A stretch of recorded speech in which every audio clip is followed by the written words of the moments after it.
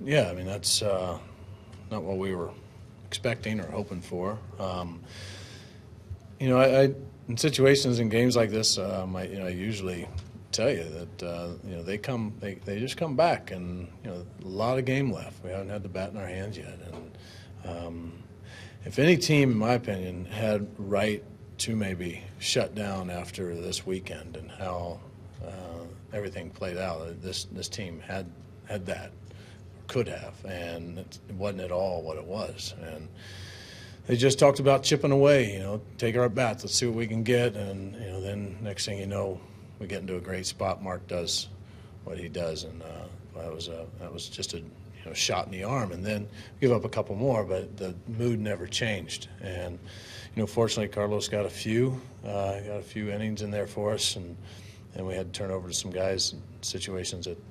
Um, you know, they're tough. Back was against the wall, and they got it done. And uh, yeah, I just, I think I said yesterday, wow was my explanation. I don't even know what to give you today because that was, to me, that's just uh, it's a sign of a, a tough team, a mentally tough team that uh, just uh, they're, they're, they're going to be relentless, and I hope that's something we never lose. Mike, when you go through three straight games where you guys have walk-offs, is that, even though they've already believed them, so they do it on the field, is that build something where they have confidence even if they're down? Yeah, I think I think um, you know having those games, those tight games, prepare guys to be in those kind of situations. Um, you know, there's pressure all the time. Every day they walk out there, every at bat, every pitch. Uh, so that's something that they they live with. But um, you know, those those type of situations, they, I believe, um, you know, they're working on their confidence every time they get in them. But being down big like that is also, I think, it's a learned skill, and and, and part of it is being able to uh, to trust next man up. Next guy's going to do his job. I'm just going to do mine. Let's not think too much about this. You know, there's a lot of game left for us to to write this, and it's exactly what they did.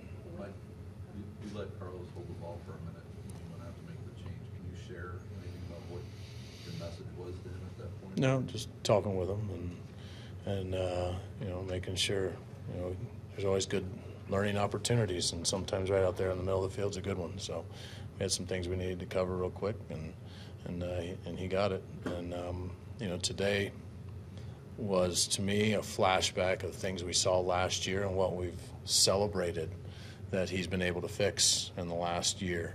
Um, it's a young pitcher. You're, you're going to have you're going to have relapses, um, and you know I'm, I'm going to highly suggest he watches this all over again from our eyes and sees his mannerisms, sees how um, he was approaching the game, and, and see how he let it speed up and he let his emotions take him too far in a, in a wrong direction, and make sure this is once again uh, something that he moves forward from. If your bullpen is in better shape, does he last through the first inning? No. Well, it, it wouldn't have, it'd have been a much shorter leash. I mean, we had to get, we had to get every pitch we could. And I was considering letting him go further. But um, unfortunately, we had a couple guys who could go a couple innings, and um, Carlos came in and did, did a great job, and, and so did Soko. Why was it important that you get that shirt as opposed to like, The first one, um, you know, I don't remember if I spoke Spanish or English, to be honest with you. Um, but that's usually the benefit early on, and make sure he hears it. And I wanted to make sure that there was he understood where we were coming from and be the voice of our team.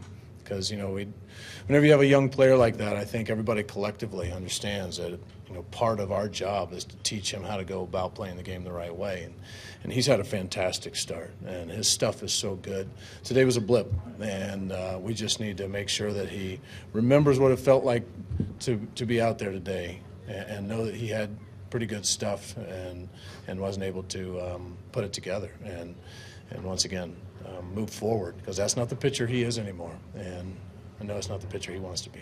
Was velocity part of the issue today? You said you saw some things that you've been celebrating with the alteration. You appear to be going harder on the gun a little bit earlier. Was he using his velocity in response, kind of the way you said that he had to grow out of? You appear to have gone a little bit harder. No, we don't mind the velocity. I mean, he's had some starts where he is letting it eat, uh, but he's in the zone, and so I, I think you know what he what he has learned is um, being able to make those adjustments. Sometimes it is backing off a little bit, but there's other times when he's been able to find the zone by, by turning it up a little, and it's just making those adjustments quick. Uh, I do think that there was a little bit of a harder is going to be better mentality.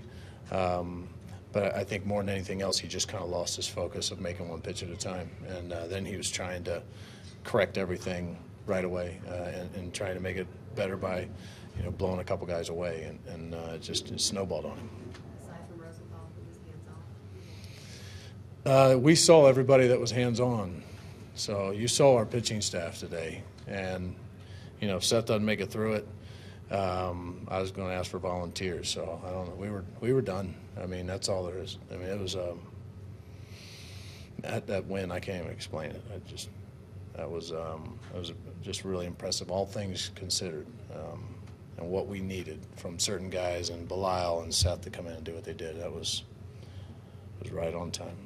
Now that Socolovich just won two games in two days, does he to stay around tomorrow? Yeah, uh, we're um, we're still figuring all that out, but yeah, he's certainly done what he needs to do, and um, we watched him in spring. Did a great job. I mean, you see, he's got a pretty um, wide array of pitches that he can throw just about any time. So we got you know still some thinking to do, and we'll have until tomorrow to figure out who's going to make that roster spot open. Might you do, would you do another pitcher? Could, yeah, that's in the discussion too. So Choate, Choate was done. You know, Choate possibly could have thrown, um, but for the most part, I mean, we made that double switch to get Seth in there because we were riding him for as long as we could, and like I said, after that, you know, maybe Randy could come in for a little bit, but we were basically done.